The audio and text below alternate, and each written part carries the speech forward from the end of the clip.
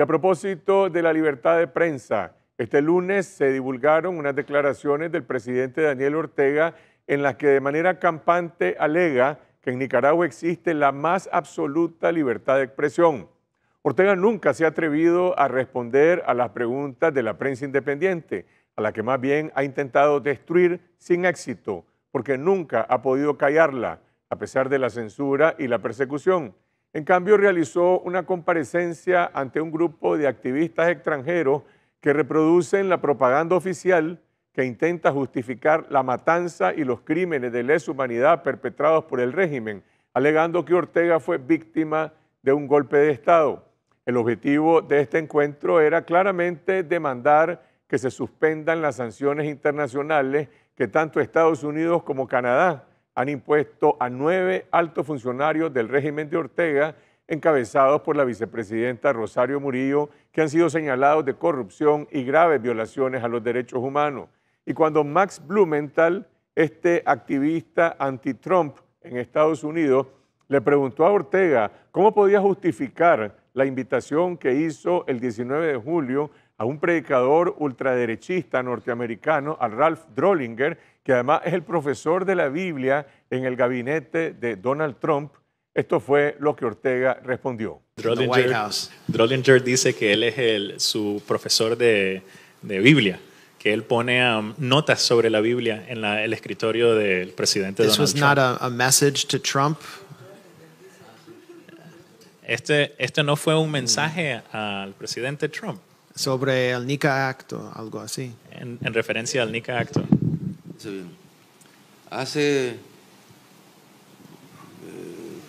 15 días, 3 semanas, Uh, 15 years ago, or uh, 15 days ago, or three Sal- weeks ago, sal- salió un reporte del Departamento de Estado a report was published by the Department of State acusando al gobierno de Nicaragua ac- accusing the government of de Nicaragua persecución religiosa. of a religious persecution. Ustedes lo deben haber conocido ese reporte.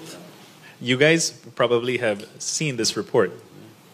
Y reportes donde nos acusan que aquí no hay libertad de expresión. Reports in which they're accusing us that in Nicaragua there isn't freedom of the press, and freedom of expression. ¿Qué? Libertad de expresión, Freedom of expression. donde el pastor ahí podía haber dicho cualquier cosa. Nosotros no le pedimos el discurso que iba a pronunciar, no le dijimos simplemente diga lo que quiera. We didn't ask um, Pastor, we didn't give uh, Pastor Drollinger a, a script. He was allowed to say anything he, he wanted to say. Y creo que este, el, el hecho de que se ha dado esa presencia ¿no? del pastor y también de los sacerdotes católicos, existiendo problemas muy serios, como ustedes saben. The, the fact that um, um, Pastor Drollinger was present um, in that um, activity, along with the other 30 um, um, pastors, Catholic pastors among them, is very significant um, considering the events that are ongoing.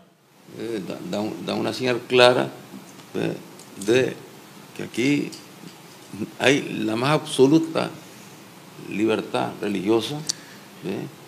Y que hay la más absoluta libertad de expresión también.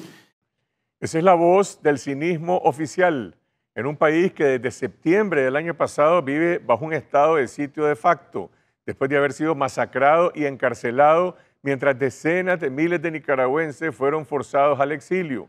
Y si hay plena libertad de expresión, como dice Ortega, porque hay más de 120 presos políticos y porque Ortega persigue a los ciudadanos que demandan reformas políticas y elecciones libres.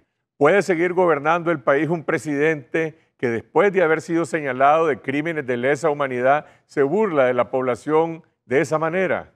Pero si ustedes piensan que esa fue la única mentira o la más inverosímil de todas las mentiras que dijo Ortega en esta entrevista de una hora de duración, veamos lo que respondió cuando le pidieron que se definiera a sí mismo. A lo largo de este camino, ¿ve? ¿cuántos atentados? And after that, how many attempts against my life? Atentados. Y nunca, cantidad de atentados. desde los años 80. From the from the, the 80s, I've had attacks on my life. Y nunca he usado carro blindado. And I have never used an armored car. Aquí todo el mundo pien- piensan que yo siempre he andado en carro blindado. Nunca he usado carro blindado. Mi carro blindado es Cristo. My armored car El pueblo, el is pueblo es el que me cuida. Eso es lo que alega Daniel Ortega, cuyas caravanas de seguridad incluyen decenas de hombres armados, helicópteros y ambulancias y centenares de policías en el trayecto de su recorrido y prácticamente ha roto todos los récords históricos de los dictadores de América Latina en cuanto a despliegue de guardaespaldas. Es un país que no vive en una situación bélica y tampoco en una guerra civil. ¿A qué le teme tanto en lo íntimo de su conciencia el dictador Daniel Ortega?